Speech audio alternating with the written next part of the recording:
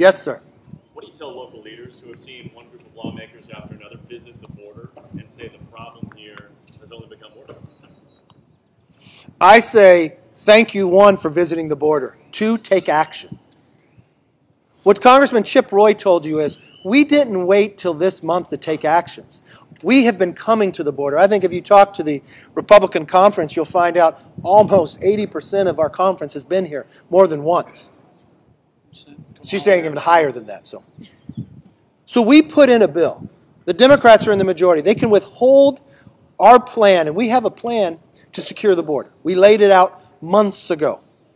But we, the only action we have is what is called a discharge petition, where you can get a simple majority of the House, Republicans or Democrats, to sign a discharge petition. That bill can come up. You know exactly what that bill is to make sure we don't pull back Title 42.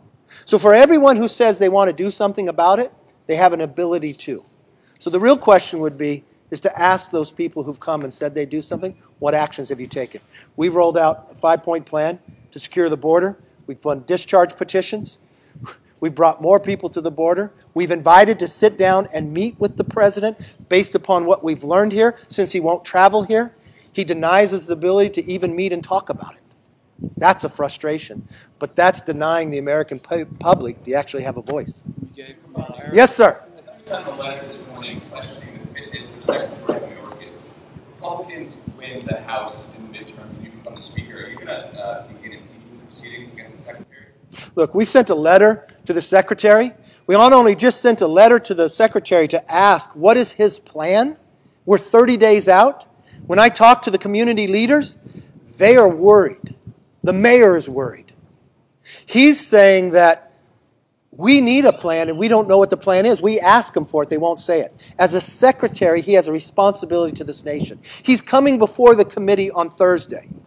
Ranking member Jim Jordan sent him a letter on what our questions are going to be. So he can't sit there like he's done time before and say, Let me get back to you. There's no time for getting back to us. And it's not about answering us, it's about answering the American public. This is his moment in time to do his job. But at any time, if someone is derelict in their job, there is always the option of impeaching somebody. But right now, he's got 30 days. His first response to us should be we should not lift Title 42. They're not prepared to protect, and we cannot sustain what will happen to this nation. Thank you all. Appreciate you coming.